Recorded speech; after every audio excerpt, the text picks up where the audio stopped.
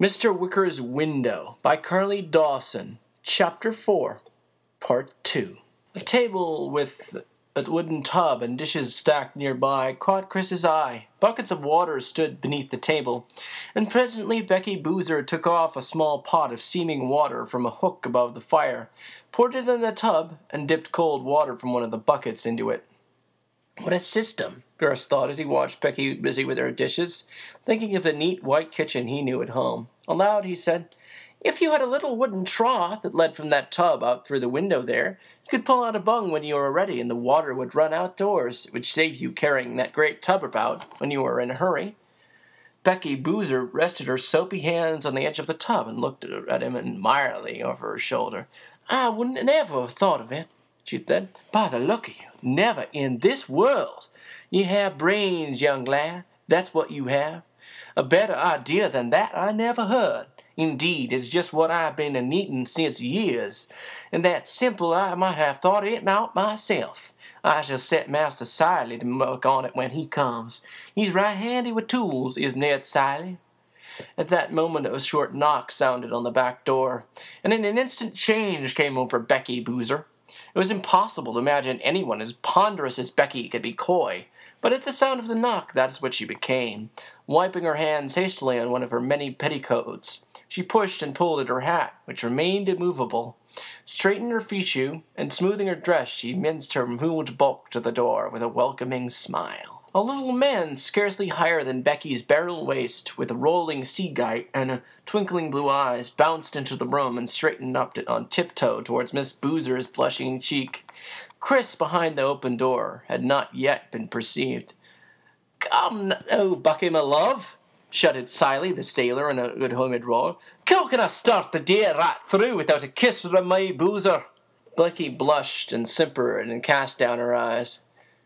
Get along with you, Cilley. What a way to behave, she admonished, delighted and abashed. See, there's company here. She pushed her suitor off with an elephantine shove of and gestured to Chris. Chris was feeling the contagion of laughter catching up, up in him again at the scene he had watched. He was glad when the suitor turned and came over to where he sat. A visitor, eh? Well, well, off a ship? No, no. Becky put it in quickly and gave Chris a look. No, he's a friend of my master's. From, she searched her mind, from another part of the country. He got here last night and slept late, as you see. Indeed and indeed, said the sailor, settling himself comfortably and as if for a long stay in his chair, and observing Chris through his keen blue eyes. Well, young man, announced genially, I am a sailor, he said, and stretched out a hard brown hand. Christopher Mason, Chris said in return, and they solemnly shook hands, taking account of each other as men do when they meet. I shall sit here, Mistress Becky, by your leave, Sally called out as Becky Boozer were a mile away, to keep this lad company, as it were.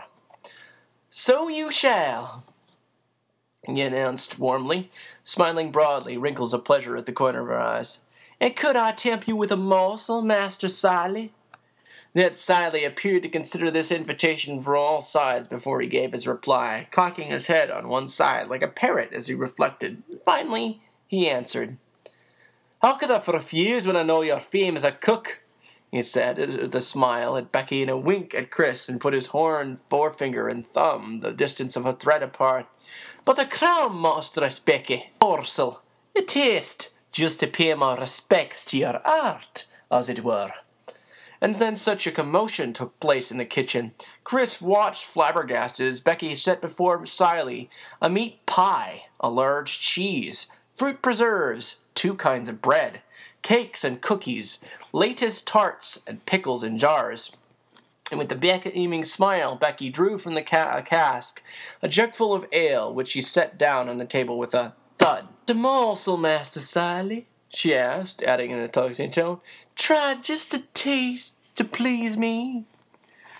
Ned Cilley, his eyes winking with anticipation and smacking his lips, attacked the meat pie and the cheese, tarts and pickles with a will. Here, try this, he urged Chris, heaping the boy's plate as lavishly as his own, and the two sate in silence and gusto while Becky stood by with roses and feathers bobbing. You need to keep your strength up, Ned Cilley, she admonished, for 'tis a hard life that you lead, she warned him. Ned paused long enough to swallow. Ah, that it is, that it is, he agreed, wagging his head, champing his jaws, and digging into the food. A hard life as a sailor, Ned said with an effort at sorrow, which failed signally, and he took a great draught of the ale. After a while, Cilley slowed, wiped his mouth with his hand, and leaned back in his chair, rolling a dazed eye at the anxious face of the waiting Becky Boozer. Mistress Boozer, he announced, I'm a new man. He heaved a sigh of repletion. Ah, you have saved me again. Ah, Mistress Becky, what a treasure you are. Becky curtsied and giggled.